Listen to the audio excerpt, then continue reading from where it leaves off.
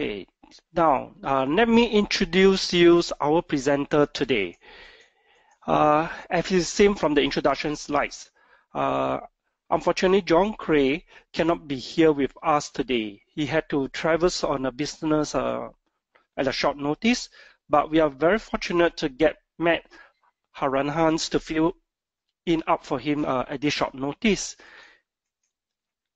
I'm sure many of you knows Matt. Uh, Matt has been working in Enghouse for nearly 20 years, and he has been working in a number of roles at Enghouse Interactive.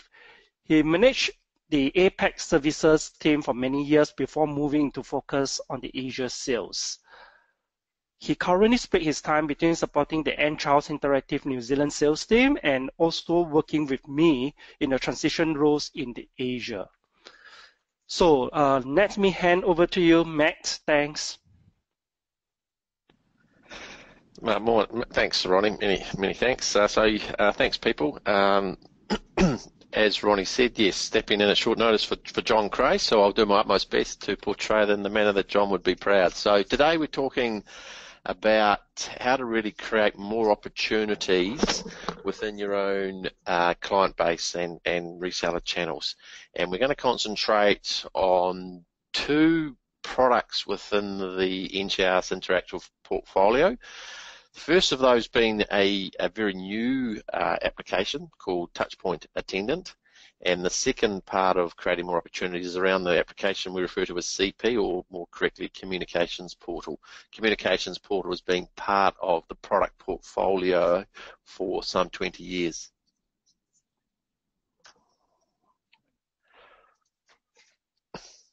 So apologies. Uh, so Communications Portal, as mentioned, yes, has been part of the Enghouse product suite for more than 20 years, and there'll be a number of you on this call who are very, very familiar with the Communications Portal and its capability. But I just really want to reiterate the uh, yeah the, the, the, the, use of these types of tools to help you create more opportunities within your own organisation. So yes, reflecting on the first component, that being the recently released Touchpoint Attendant. Uh, this is an application that is targeted uh, at some uh, the, the telephonist or operator, front office, uh, operator, console uh, attendant roles within any organisation, and as most organisations will tell you, that role is a very, very significant one. And as you can see from a number of comments on this slide here, uh, the role is taken very seriously uh, because the person really does have a significant influence on the people that they're communicating on a very, very regular basis, and in lots of cases on the very first time basis that organisation talks to with with, with a potential customer. And so to be able to ensure that that person has the right tools at their disposal, that person needs to understand that they also have a responsibility in facilitating uh, the, the, the, role as perceived by the organisation that they work for. And how do you make sure that they are capable of facilitating that particular role to the utmost of their ability? and you want to make sure that the interaction is very personal. Uh, have information available to them about previous uh, contacts or communications from the person that they're now talking to whilst also getting information with from within their own organisation. So knowing uh, who is available, uh, has this person spoken to them previously? Is that person still available? Is there others who are in the absence of the primary person available to take that call? So sharing presence information and getting quick visibility uh, of known points of contact. And in the absence of all of those types of things, uh, offering options to be able to get hold of either the primary person or other people who may be able to facilitate that. And that not, not necessarily through the voice interaction. It could be through an extension of instant messaging or emails or transferring to other known numbers uh, associated with that particular user. And at the same turn, uh, if, if you can imagine uh, the destination person is busy, can you prime them for the call that they're about to receive? Are they willing and able to take the call that they're about to receive? So making sure that the attendant themselves has the full control and, and, and capability to be able to make sure that they can handle this call in the in, in the most appropriate manner in the first instance. And thus, by doing so, you're creating a great level of productivity and efficiency from someone within that role. And as a result, you really are empowering that person to be successful in the role that they that, that they do. And by creating those efficiencies, you've now got hopefully a, an extension of time uh, in uh, that person's role because they're actually being able to deal things so quickly. They've got time to facilitate all those other areas that that role actually requires. So the way that we've done that is delivering what we refer to as touchpoint attendant. Touchpoint attendant has been uh, available in, in two iterations since we have released it and we've released it in conjunction with Microsoft. And so the term there we've said is co-engineered. So it's not just a product that's for Microsoft, it's a product done with Microsoft. So that's a significant statement on its own. And the reason that we've had two two versions of the product, if you like, is that the Skype for Business uh, application has always been an, an, an on-premise uh, available telephony suite, and in more recent times, Microsoft has announced their cloud PABX or their online version of uh, Skype for Business. And both of those things give you slightly different uh, behaviors or different technologies, but irrespective of the customer's use of the Skype for Business platform, the touchpoint attendant console can be used in both of those environments. And when Microsoft released their cloud PABX technology very, very recently, we followed suit immediately with the release of our own touchpoint attendant console for that particular flavor of Skype for Business. Significantly also is that this is the first time we've been able to introduce a client-side application only. And so what that basically means is there is no server-side component. It really is just an application that is run from the operator's uh, PC or workstation. But it takes control of all of the things that a traditional Skype for Business client would do, but tailored in the way that it's for high high volume, but, but also giving absolute call control, the ability to be able to search directories, see instant presence integration, but for someone who is tasked with dealing with calls in a high volume and dealing with them in, in a very, very quick and efficient manner. Okay, so what is Touchpoint attendant actually look like? So you're seeing there on a, this, a screen of what the operator, a typical operator, partway through their business day would, would, would be looking at. You can see there that there is a, uh, a, a, very clean uh, user design, lot, lots of clean white space.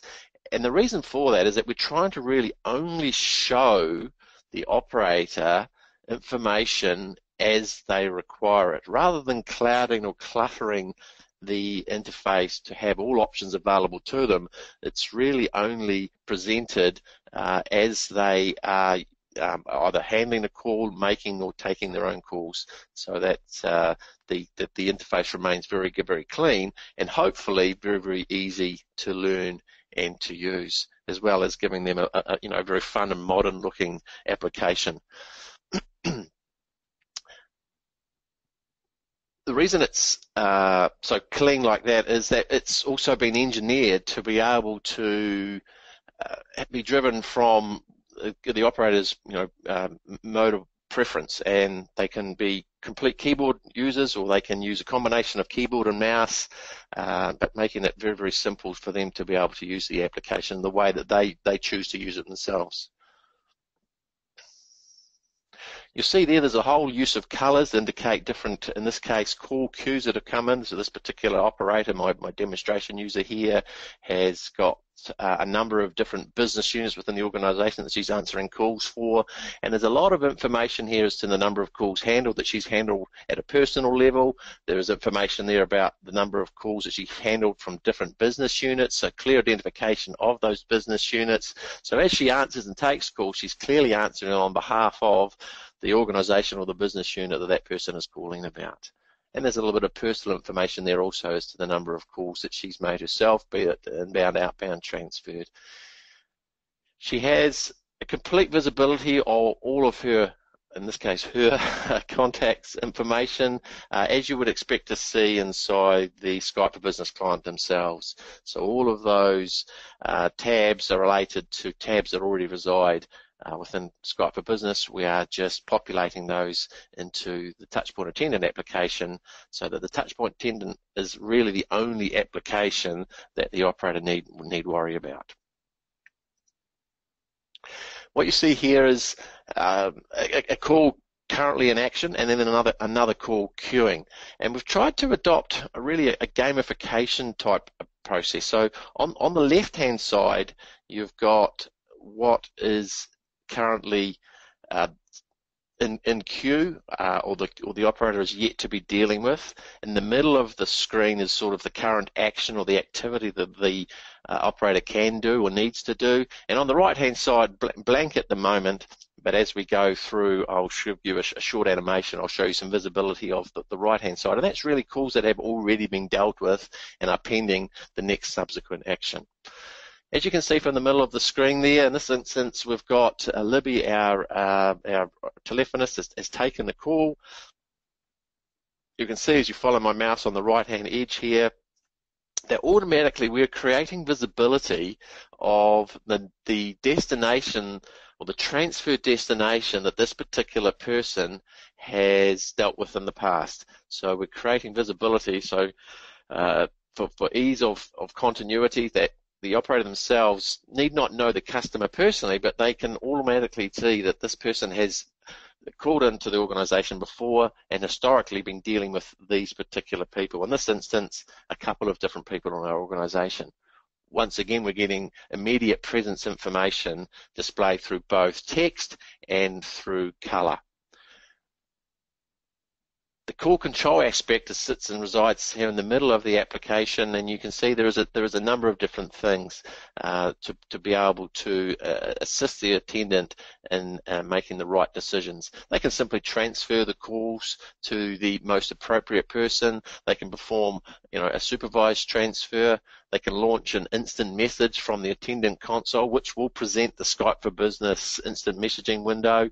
Or should the contact store have the email address, we can also launch a uh, an email from the uh, attendant console application as well what's happening on the left-hand side is that whilst this call is taking place, we've actually got more calls sitting and waiting in the console queue to be delivered to this particular person. And you'll see momentarily that as calls age, there is a there's a grading or a color grading scale to indicate the prioritization of the incoming call. As you can imagine, in a high volume uh, telephone situation, you will have one to many calls that will reside here on the left hand edge of the screen. Okay, so the active call this window will display. It's got a lot of information about the caller, so we're sourcing that from the same areas that the Skype for Business application uh, itself is taking data from.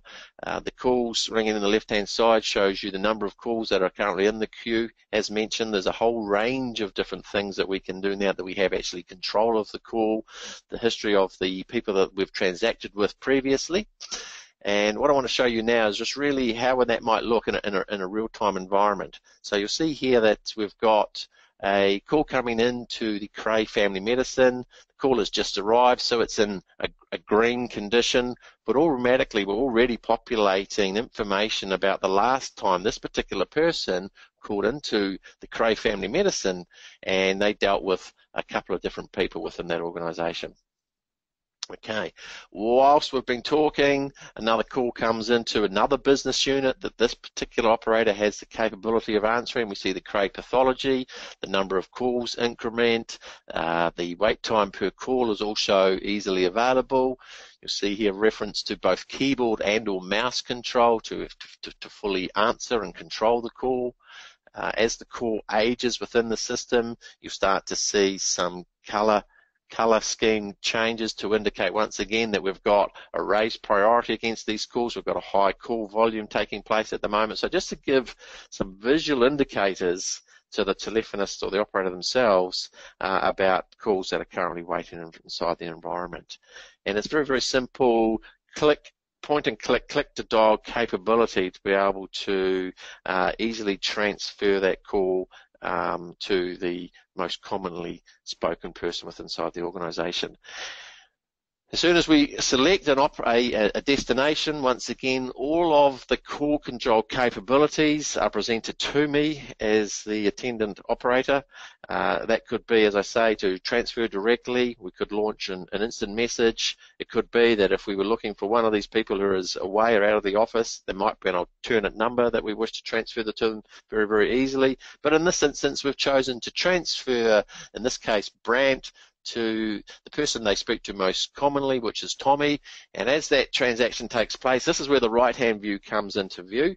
And this call will there present until such time as a subsequent action takes place. And what I mean by that is that it could well be that Tommy has walked away from his desk uh, and chosen not to take the call. So the call, based on configuration, will either return to the operator with full visibility or it'll follow the actions that are are associated with, with Tommy's uh, Skype for Business profile. So one more click of my mouse will start to see this, this call drop down. Tommy in this instance has chosen to take the call, so the call disappears from my view. And now I'm ready and available to take the next incoming call from the Cray Medicine team. All right, so that's just a quick animation of sort of how a call would be presented, answered, and then transferred, or the, the whole time maintaining great visibility uh, from the console operator's perspective once again empowering them to be able to you know complete their role in a, in a, very very efficient manner. So how do you get touchpoint attendant? So there's been a lot of work to try and make this as, as simple as we possibly can.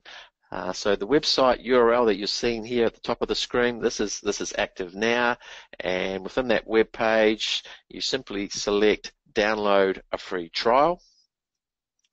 And on selection of that, we're asking for a little bit of registration information just to help with our uh, capturing information about the prospective customer. Uh, and then once that has happened, the customer then has the ability to be able to actually download the application themselves. And from this download page, there's a number of resources and other references available to them. There's the installation process themselves, but as mentioned, this is purely a client-side application. It is a Microsoft installed application, so it's very, very simple to deploy.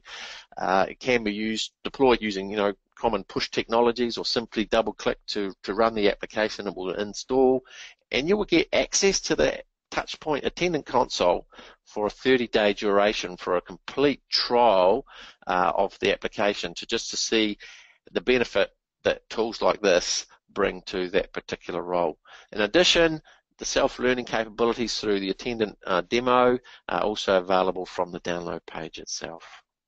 Okay, so once again, we're trying to make it very, very simple for your customers to get self-access to the application themselves, and then in the times that they need to register, that's where your involvement comes in. But once they start to use the application for the first time, there is good visibility that it is a trial period. On daily startup, they will be reminded of the number of days remaining for the current trial. Uh, through the course of the application, they'll also see this banner at the top of the uh, app, and it will also reflect the number of days that the trial period has uh, to, to, to you know, remaining. Excuse me. So how do we price it?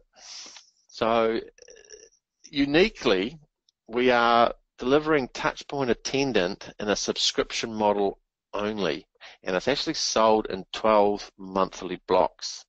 So pricing for the Asia region is is in US dollars as per all of our current price books, and it is at $60 per user per month. Okay, once again, the website for all things Touchpoint Attendant is, is available here. And as Ronnie mentioned, access to these slides will be presented in the following days from this presentation. Quick note here that if there is opportunity to purchase a number of uh, clients on bulk, then yes, certainly discounts can and do apply. So once again, here's the publicly listed uh, web page, so clear visibility to customers that uh, the subscription model is there and that the per user pricing available. So you, you, would purchase as you would normally. The customer must buy through the partner. We are not selling direct, even though there is direct visibility from the website. Uh, the customer is then directed to a partner.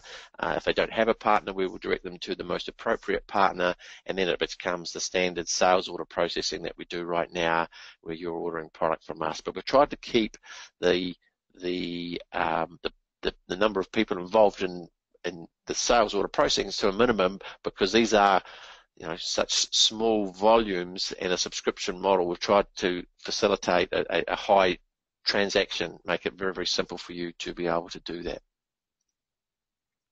So just to recap very very quickly on on Touchpoint we released our first version back in December last year for the Microsoft Skype for Business on-premise solution. Um, we've released subsequently our Microsoft Cloud Online or Cloud PBX Skype for Business um, version when Microsoft also announced the availability of that particular technology. And the application has been written in conjunction with Microsoft. So our development teams have been working closely with them, understanding the capabilities and what will be made available in the subsequent Microsoft Skype for Business versions. And we will uh, continue to, to, to evolve the product with that co-engineering model. So we are in constant communication uh, with Microsoft, ensuring that the changes that they bring to both their on-premise and cloud solution, uh, we can maximize the benefit through the use of the Touchpoint Attendant Console. Once again, it is a client-side only application, so there is no server required. Uh, it is a Windows only application, so Windows operating system is the only requirement. You download it from the website as, as, as noticed, and there is, as mentioned, a 30 day trial. Although to be fair, we've given you also an additional 10 day grace period uh, that serves two purposes. It gives the customer maximizes their opportunity to purchase the uh, product even at the completion of the 30-day trial. And should they subscribe to the uh, application, then 10 days prior to the expiration of the of the license, then they're also prompted to um, you know be in touch and make sure that they can continue the subscription at the conclusion of the first 12 month 12 month period. All right, so that sort of concludes the Touchpoint Attendant Console. Uh, as Ronnie mentioned, if, if, time permits, we'll be taking questions at the conclusion of the webinar, of today's webinar, and I would suggest that uh, perhaps you, you, take the time now, just a moment now, to uh, make those questions uh, via the GoToMeeting uh, webinar application that you've all been using uh, to, to connect to today's webinar. So now we're going to shift our focus to another part of the presentation uh, on a product we refer to as CP or Communications Portal. As mentioned, this is a product that's been in the Enghouse product speak for for some 20 years. So we have a, a, a, a large reseller base and we have an even larger client base inside the Asia region. And so a number of you will be very, very familiar um, with the with the technology. But today was just really, as I say, under making sure you understand how to create more opportunities. Because what we're showing you in both of these products today, they can be used in conjunction with other uh, Enghouse Interactive applications, or they can be used in a pure standalone mode. Okay, so that you are maximizing your opportunity uh, to create more opportunities for yourself and for your for your own dealers and resellers. Okay, so Communications Portal in a nutshell is a self-service application. Self-service, traditionally called IVR. And why use self-service? Uh, as you can see from the slide in front of you, it really does increase the efficiency and satisfaction uh, of, of, of your customers. Because in this day and age, research strongly suggests it's what customers not only want, it's actually what customers expect. And customers are becoming more and more technically savvy. And as the statement says, there are more mobile devices exist than people.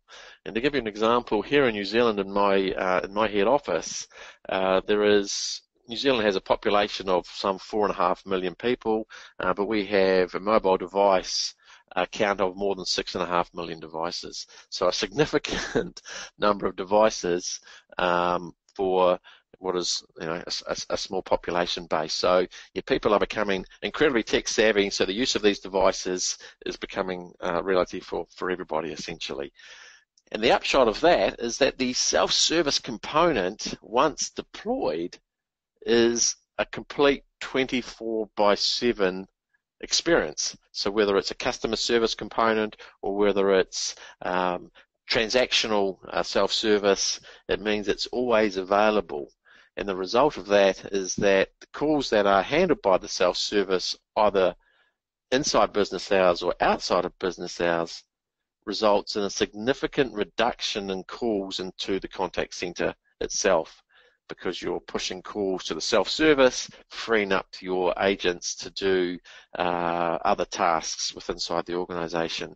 And as a result of reducing calls to your agents, the inevitable is the reduction in abandonment calls. So the service level is greatly increased, the level of customer service to the caller is greatly increased, and as a result, you have a, a, you know essentially a, a win-win situation. You're offering service 24 hours a day. People can help themselves, or the callers that do need to be presented to the contact centre, you're making sure that they're the ones that are uh, only need to be answered by an agent and minimising the number of calls into that particular team. Significant piece and the, probably one of the key points of today's webinar is that the reduction in operational costs uh, is, is, a, is, a, key decision-making factor in any use of, of a self-service technology. Yes, you can get uh, improved uh, agent productivity, and there's some significant uh, cost benefits to that, as well as longevity in their role.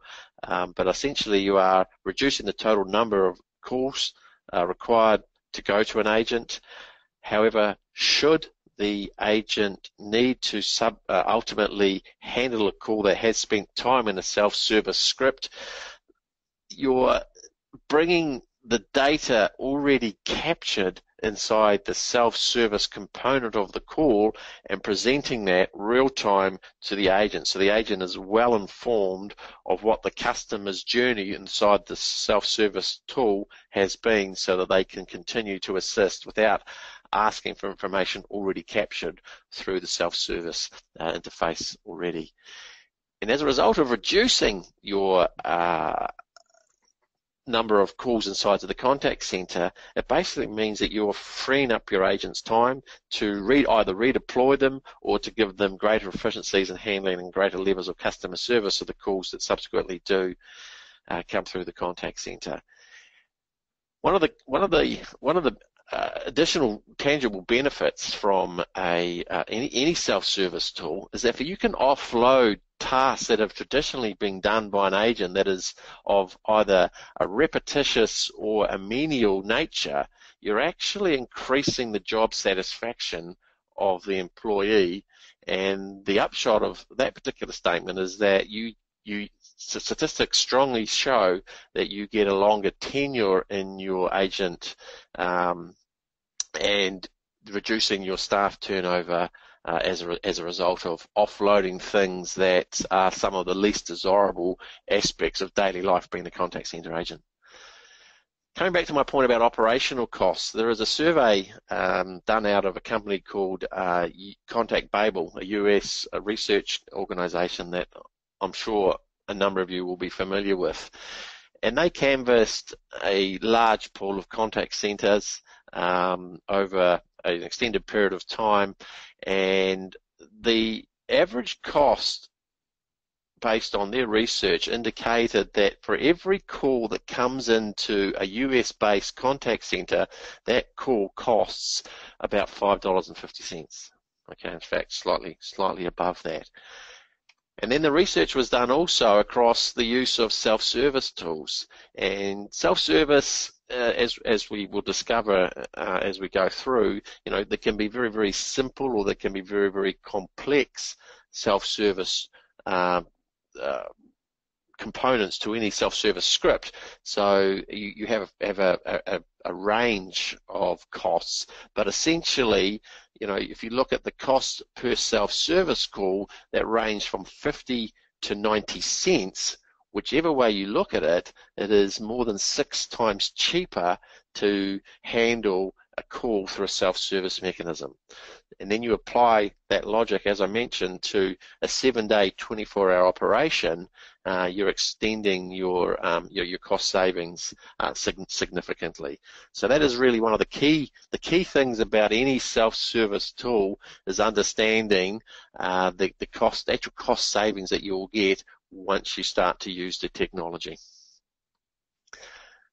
So how do we do that? As I mentioned, we do that with our application called Communications Portal. It is both an inbound and outbound communications tool. Traditionally, it has been a voice-only type of uh, tool, but in more recent times, text media has been a, uh, a, a part of any self-service, both through the inbound and outbound notifications. The use of SMS or email or surveys, for example, uh, is becoming you know adopted in a, in a much wider um, business sense. Communications portal, I mentioned before about simple to complex. So it, there is a, a, number of ways that you can configure a, a self-service. Traditionally, it's been very much a voice-driven uh, DTMF touch tone type experience, uh, but it need not be the case. There is industry best practice applications that support the likes of Nuance and LumenVox that give you the ability to be able to use full speech recognition or text to speech, speech to text type capabilities to make sure that you can construct a self-service tool for even the most complex of requirements. Further to that, communications portal itself has been deployed in a, in a number of different ways, and that can be connected directly to the in, on-premise in-house uh, telephony platform. It could be that is connected directly to the PSTN. It can handle all uh, types of customer interaction, so really creating that omni-channel type um, exposure through the use of SMS, email, or even traditional fax through the use of you know hardware boards, etc., etc. And then what we're seeing significantly in more recent times is the use of what we refer to as visual IVR and specifically our mobile IVR navigator. And that's basically a, a layer above the traditional uh, IVR or self-service script that's handling the same communication but creating it through a either a web page or a um, uh, an application optimized for mobile devices and creating the visual um, menu structure that traditionally has been you know through the through the voice type interaction. The other thing about Communication Portal and its key capability is that it's it's very very highly scalable. You know we have a number of deployments there in the in the hundreds and the thousands of ports, uh, and and included in that, once you start to get to those um, uh, densities, then resiliency and, and high availability is a, is a, is a key component. Uh, so the the design and, and uh, deployment can absolutely cater for the high availability needs of any organization. Importantly also for communications portal perspective is that it is developed using our own graphical user interface. So we're not using a, uh, a text-based or scripting language. We're actually using an application to create visual representation of the call flow design. And that's a single tool um, irrespective of the type of communication, whether it's a text-based, whether it's inbound or proactive outbound type of communication. And there's a broad set of application API uh, integration or application APIs to, to communicate to a, a whole range of different uh, applications. But very, very importantly, as mentioned, at some point, a self-service is not going to meet the needs of, of all calls. There is times where a self-service uh, will meet the partial needs of a call, and that may well be that uh, a, a call into any self-service uh, script or queued or design needs to actually end up with a real live agent in the contact center. And it's paramount that information or the time spent inside the uh, call flow is presented to the agent when the either the call flow makes the decision itself that it needs to present to an agent, or the caller themselves opts out to speak to an agent. All the time spent and all the information captured and gathered is passed at a data level integration to the wider Enghouse interactive uh, contact center applications. So those both being CCE or contact center enterprise or CC slash UCB for those in the uh, in the in the NEC world. Uh, so all of that information is passed to the agent at the time that the agent takes the call. Okay, so very very key to have that level of integration between the whole suite of our products. So coming back to my reference about uh, so the application is called CP Studio. So CP Studio is uses what we refer to as building blocks to create the IVR call flow. So you'll see here uh, the call flow has a number of components to it. Um, the call flow can also be cut, paste, or dragged and dropped around the screen so that we can quite easily modify or create new call flows based on existing ones as, as templates just to really speed up the whole deployment uh, of, of any call flow without using specialized language or specialized skill set skill sets to create and understand uh, traditional text or script based uh, call flow design. Importantly also is that the CP Studio has its own inbuilt visual debugger. And what that basically means is that when you create your call flows, you can deploy, you can test before you fully deploy. So the visual debugger will tell you where you've got endless loops or broken components within your call flow, you know, a destination that does not exist, etc. So full testing capability using the visual debugger before you look to deploy the script. So very, very easy, uh, once again, to develop, deploy, and then understand, um, you know, the uh, the call flow itself and uh, the the potential for success once you make that once you make that live. And then once something is live, use tools like CP's console application that gives you complete visibility of the components that make up a communications portal deployment and you see exactly what's taking place inside the uh, inside the IVR at, at, any one time. And irrespective of how many servers uh, are deployed to make up a single communications portal, uh, whether it's across a single site or, or multiple sites, CP, the CP console application is a single tool to view all of the activity that's taken place within inside the uh, within inside the, the self-service applications themselves or the call scripts themselves, and simply it allows quick and easy changes uh, should the case uh, be required. Uh, it is a, a user granted privileges, so granular privileges available to restrict the administration capabilities based on the skill set of the person that you're granting access to. And since it's a web-based application, you can uh, you can access it across the, the, the, the network from any location.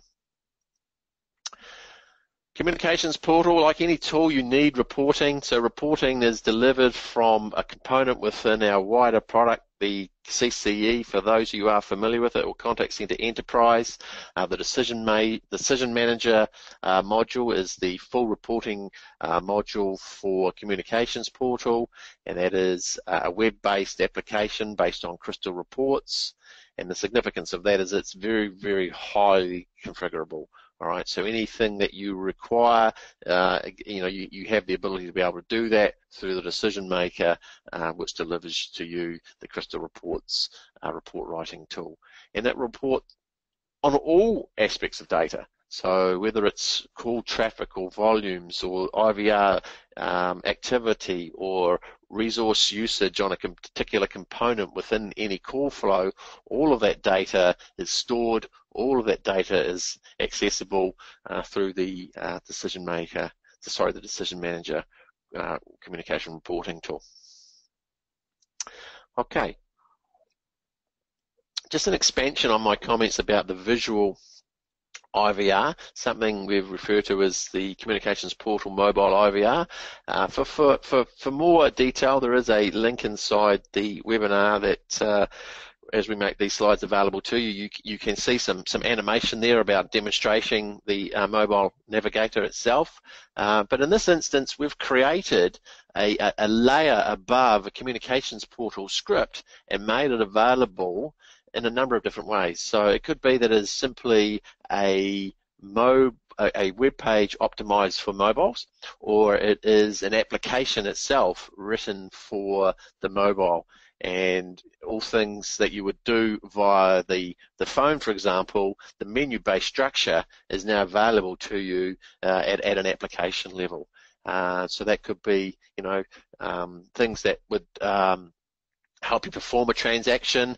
It could also have integration between the back-end contact center. So should you need to opt out, so to speak, of the self-service tool, you've got visual representation of what's taking place in the contact center. You could choose to interact with a contact center agent uh, based on a number of different communications channels. You could see possibly the time spent uh, sorry, the time expected to wait in the queue or the depth of the current queue, giving you, uh, you know, uh, options as to, to, to, to do that now or to choose to do that later. We could represent other information about the data that you've captured to date. So lots of visual representation uh, of, of the transaction to date as well as tightly integrating to the Enghouse interactive contact center applications as well. So very quickly on the mobile IVR architecture, it is available for all um, mobile operating systems, um, so Android to iOS to Windows Phone. It is using uh, a full set of uh, APIs available to you. Uh, it supports all types of devices. And the application that was referenced in the previous screen is also available as a sample to help build um, mobile IVR architecture. So something there to give you a guideline or a template to help you construct your own um, own, own call flows or self self service scripts should you should you require it.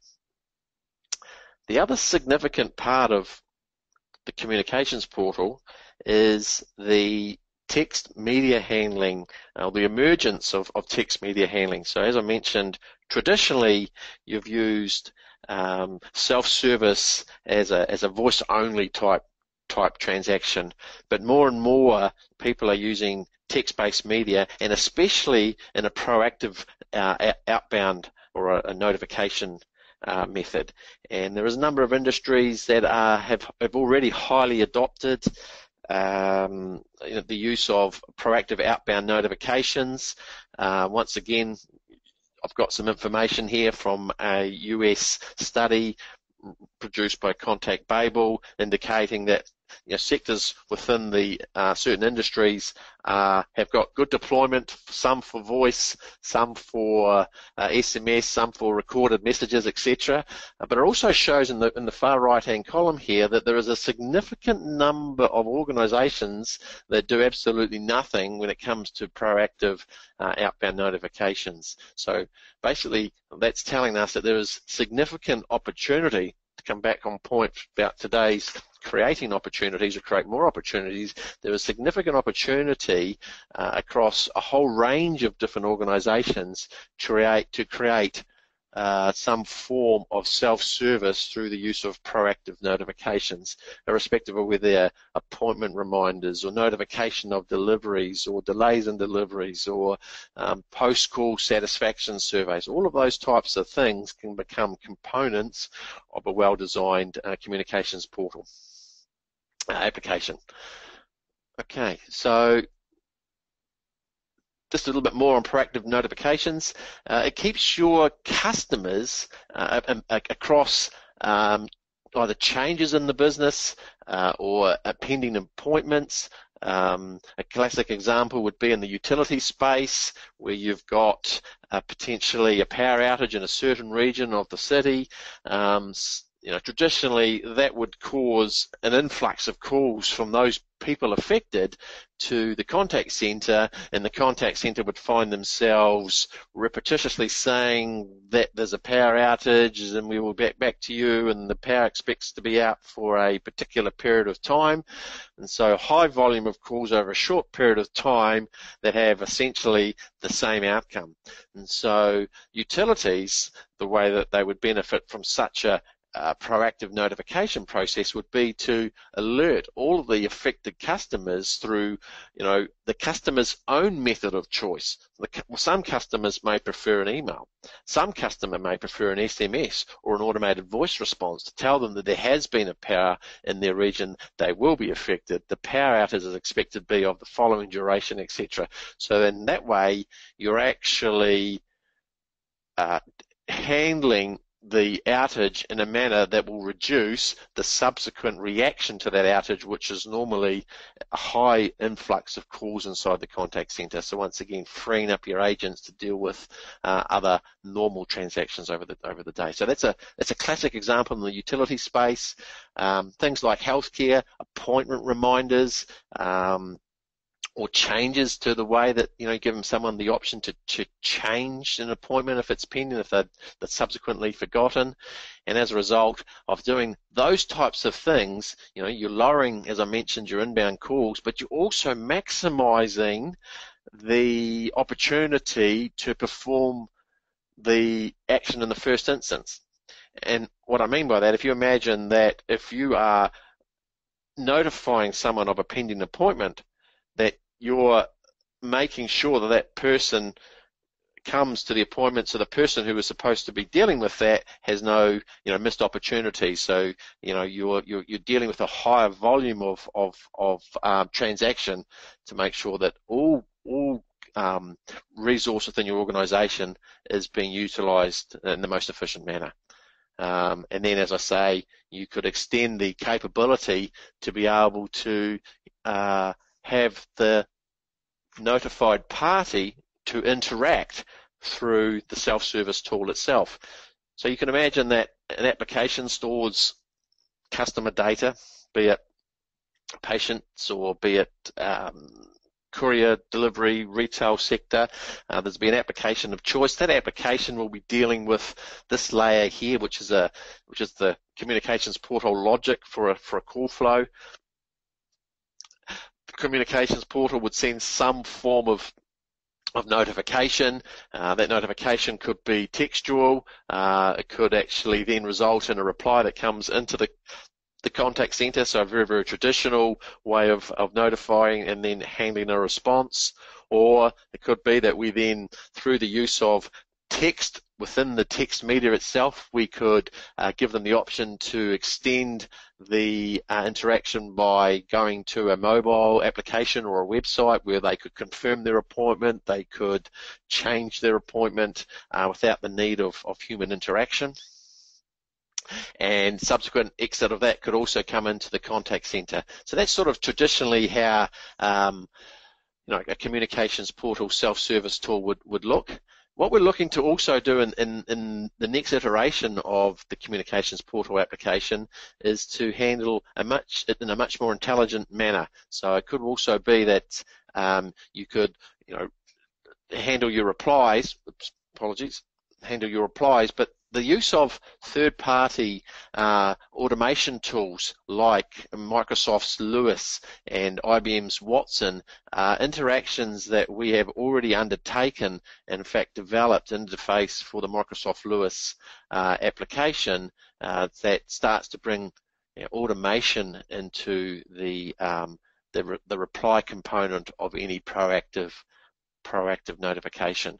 And then subsequent that, the uh, artificial intelligence could then hand off to the contact center through, once again, the preferred mechanism for contacting the agent or for contacting the, the customer themselves. So that will be the next iteration of the communications portal. We are developing interfaces to industry standard uh, artificial intelligence components, or often referred to as bots, and the first component will be MS LUIS or Microsoft LUIS. Uh, but we're also investigating tools like uh, IBM Watson. But there is a range of other tools out there, uh, and that just becomes another uh, interface or another API to um, to those particular opportunities. So, you know, we'd, we'd welcome opportunities that uh, would uh, give us the ability to be able to talk to other industry standard artificial intelligence applications out there in the marketplace. Okay. So, in in in, summary, um, Communications Portal is a single framework for managing all forms of self-service, uh, be that through uh, voice interactions with complexities such as speech recognition, text-to-speech. Uh, it gives you the ability to be able to create the call flows using a very graphical user interface, simplifying the design and then extends the capability from a traditional voice-based media interaction to a text-based one. And that text could be, as mentioned, SMS or fax or email, uh, satisfaction surveys, etc., etc., and then passing that on to um, uh, artificial intelligence type components as well. But at the at the at the end, um, irrespective of the uh, communication type, whether it's um, text or voice, the if the final destination of the call needs to sit with the contact center, then it, as I said, is, is paramount that the uh, data captured through the duration of the self-service component of the call um, is is presented to the contact center agent, so they are able uh, to quickly handle the uh, the reason that the, uh, the the, self-service tool could could not handle the, the the complete request. So making sure the, the contact center person has all the information available to them, and that could include um, information sourced from, from third-party sources. Uh, it could include, you know, or, or remove the need for re-authentication because all that information is passed to the contact center person themselves. Oops, excuse me, wrong, wrong click there. Uh, apologies, I've just clicked on the wrong button. Let me just get back to my slide here. Okay, so yes, so the, the, ultimately the destination could be the contact center, but all that information uh, will, will, will, flow through from the previous um, communication portal activity. Um, so, um, you know, that is that is the, the, the key component or the key, key, key to any interaction between self-service and contact center technology. Now, for some, you'll be very familiar with the uh, communications portal pricing structure. Uh, it is sold in a, in a, in a per port um, licensing model. Um, the mobile IVR is sold by a number of channels, so not so much a port by the number of simultaneous transactions. Outbound notifications is available in, in bundles of software channels plus what we refer to as hardware channels.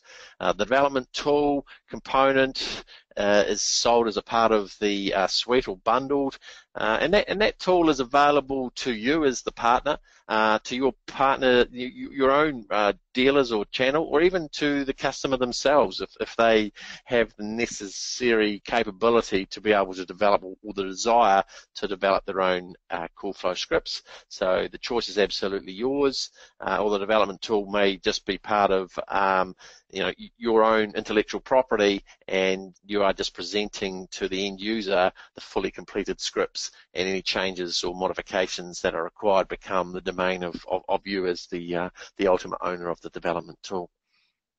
And from a more traditional stance, there's, there's, there's physical ports too for um, some of the uh, legacy type uh, per port technologies that exist, analog devices, etc., etc.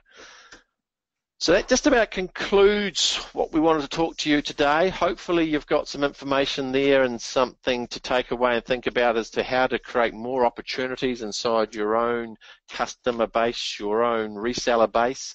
Um, but before we perhaps go to questions, I just want to bring your attention to some more resources that are available to you that will um, reiterate the points that have been made in today's presentation.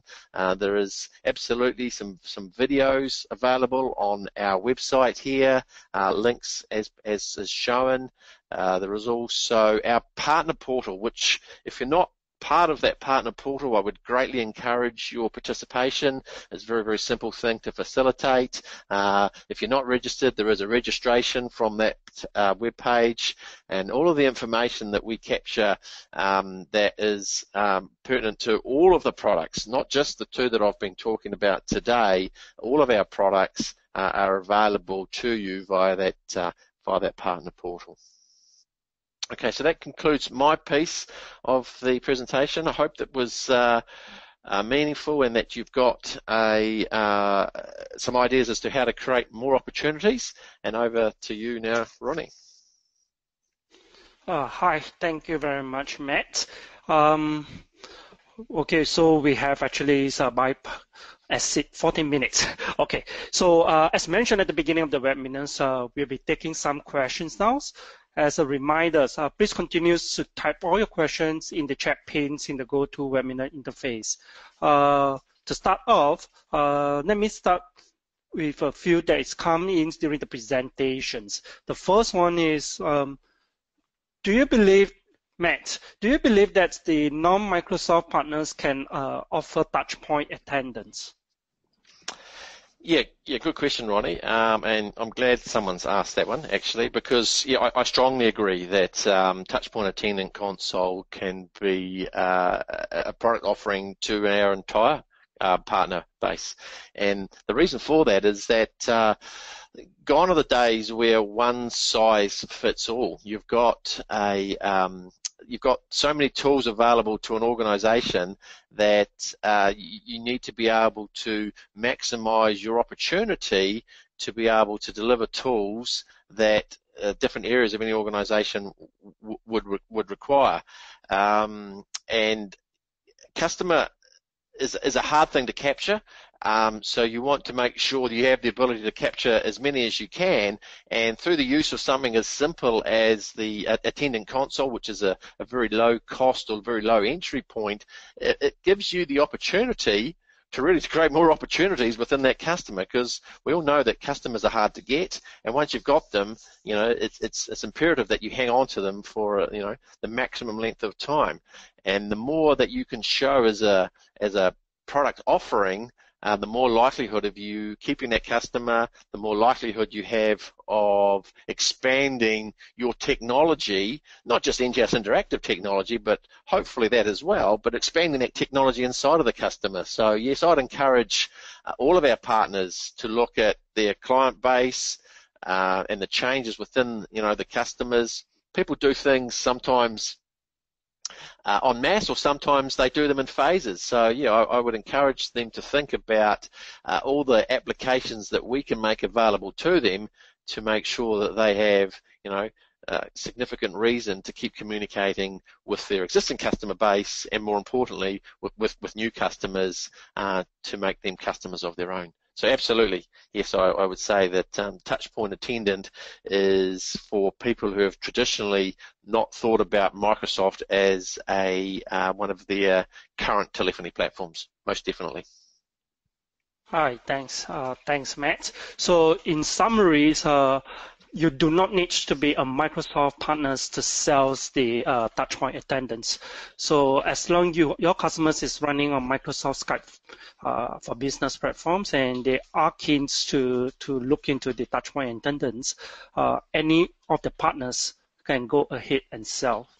Okay, uh, I think Yes. Due to time constraints, uh, what we will do is that we will answer one last questions before we end. So uh, another question uh, to Matt is, what do you see as the biggest obstacles for organizations when it comes to introducing self-service to the customer's experience options? Yeah, another good question. Um, and often it's because the customer themselves hasn't really realized that they have a self-service opportunity. Um, and, it, and it takes conversation with the likes of an educated partner to really educate them and into what self-service uh, the capabilities of, of, of, a good self-service um, component could be. And as mentioned, that could be an inbound experience, uh, that, that, that could be an outbound experience, um, and it doesn't need to be um, complex. Um, some, sometimes a, another barrier is that someone thinks that a, a self-service needs to be something that is for uh, you know highly complex design. When the reality is is that some of our more successful recent communications portal deployments have been meeting a very, very specific need. Um, so it doesn't need to be a wide-ranging um, self-service capability. It might just need to be that you identify a, a, a need around something that is very repetitious, um, and thus minimizing, you know, the, the agent's to some degree dissatisfaction with having to deal with repetitious tasks or very menial tasks that takes a little bit of time, but um, something that is done very, very frequently. So as I mentioned, some of our, our more recent, very successful um, deployments have been uh, about facilitating something that is in reality a very basic a basic task but it was a very high volume task. And I can give you an example of a, a university where um, most semesters or beginning of semesters or even weekends there is a high call volume into the IT service desk of the university asking for student uh, password reset because for whatever reasons they've forgotten. And so there was a absolute need identified that we could construct a communications portal self-service to be able to um, take all of those calls and facilitate automation of that password reset facility and therefore freeing up the time of the IT service desk to deal with real live impacting uh, calls into that particular team. So very, very simple, um, but very, very effective. And the end result was that it reduced a significant amount of inbound calls to the to the contact center so the point there being it doesn't need to be complex, uh, it just needs someone to identify it and then expand on that thinking and show the value of, of doing that to, to any organization, no matter how big or how small or how complex or how simple. Okay, thanks, Matt. Uh, okay, thank you everyone for your questions. I do see a few more waiting, but um, due to times uh, constraints, uh, we may have to stop the sessions. Uh, if we did not get the opportunity to address your questions, uh, we will make sure we will follow up with you personally to answer any questions you may have. Uh, or you could actually, uh, for those who have my email address, you could actually send your questions to me direct uh, and I will try to get uh, answers uh, back to you as soon as possible. Uh, once again, thanks everyone. that concludes today's webinar later this week, you will be getting a link from us uh, with a link to the recording as well as to further research.